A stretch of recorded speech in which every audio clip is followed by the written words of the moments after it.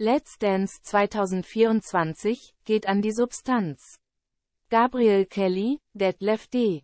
Soest, Sophia Thiel und Co. haben sehr viel abgenommen.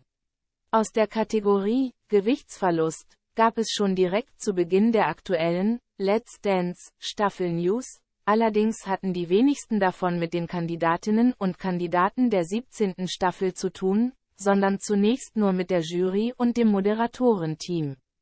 So berichtete Joachim Jambi beispielsweise, 6 Kilo abgenommen zu haben. Nachdem ihm ein Mann auf dem Golfplatz 2023 einen fiesen Spruch gedrückt hatte. Nach, ach, Sie sind's, Herr Jambi. Mensch, ich dachte, Sie wären schlanker, kam der Moment, in dem ich dachte, euch werde ich's nochmal zeigen. So der Juror gegenüber, Bild. Let's Dance 2024, Gewicht ist in Staffel 17 ein großes Thema, auch für Joachim Jambi und Daniel Hartwig, ob diese Veränderung nötig gewesen wäre, sei mal so dahingestellt. Doch erreicht hat Joachim Jambi sein erklärtes Ziel mittels einer Diät. Süßigkeiten und andere Lebensmittel mit hohem Kaloriengehalt strich er von seinem Ernährungsplan, verzichtete unter anderem auf Wein, Nudeln oder Brot. Ich kam von 91,5 Kilo und bin gerade auf 85,5 Kilo, berichtete der 59-Jährige im März 2024. Auch Daniel Hartwig hat abgenommen, und zwar sage und schreibe 55 Kilo. Diese Veränderung stellte sich natürlich nicht von heute auf morgen ein.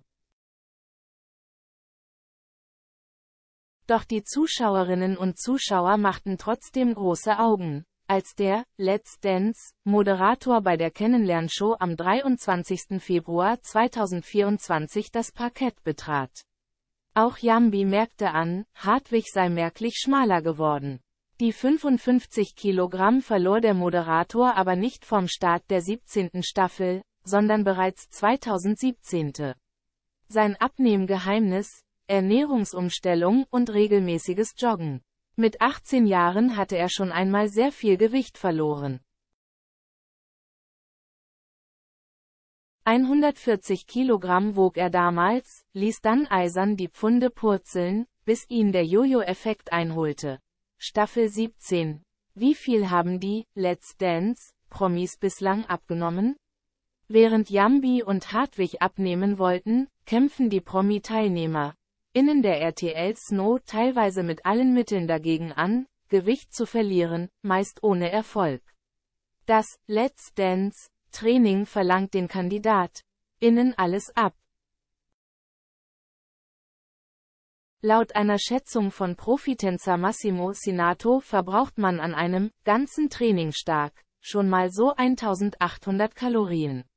Für ohnehin schon dünne Menschen wie Ann-Kathrin Bendixen eine ganz schöne Herausforderung. Denn während ihrer Teilnahme an der Survival Show 7 vs Wild verlor sie bereits 5,2 Kilo, wog danach 48,3 Kilogramm.